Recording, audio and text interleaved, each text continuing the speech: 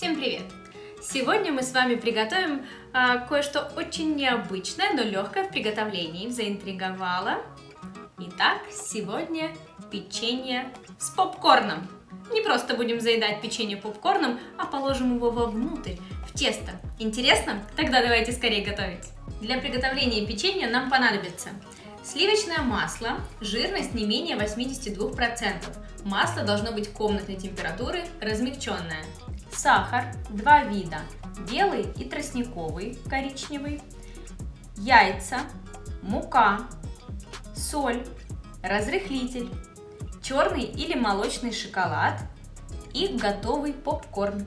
Вот такое вкусное, ароматное и необычное печенье в пупырышек, в попкорн у нас получилось. А если вы по каким-либо причинам не любите попкорн, можно просто выбросить его из рецепта. Да, просто вот так взять и выбросить из рецепта, и у вас получится более привычные такие печенюшки, кукис.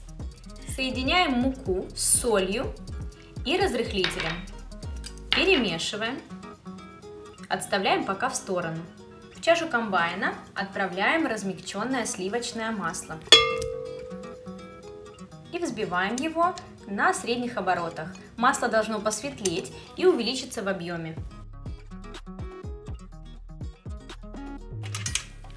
Масло посветлело, увеличилось в объеме. Добавляем сахар. Перемешиваем.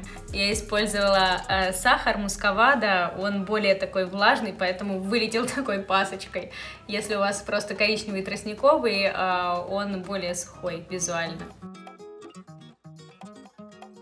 В получившуюся массу необходимо добавить яйца. Если вы возьмете яйца из холодильника холодные, то масса начнет затвердевать. Поэтому я рекомендую яйца прогреть в микроволновке буквально 10-15 до 20 секунд. И взбиваем массу на средних оборотах. Получилась однородная красивая масса, добавляю в нее муку с разрыхлителем и солью, то, что мы подготовили заранее. И продолжаю взбивать до однородной консистенции. Включаю. Готово. Красивая кремовая масса получилась. Добавляем сюда шоколад. Удобно использовать такие маленькие калеты. Если у вас шоколадная плитка, просто изрубите ее в мелкую, э, на мелкие кусочки. Перемешиваем. Сюда же добавляем попкорн. Это у меня просто масляный попкорн. Можно использовать и тот, который а, в карамели. Но мне больше нравится вот такой масляный. Перемешиваю так, чтобы тесто обволакивало попкорн. Вот то, что у вас должно получиться. Такая масса.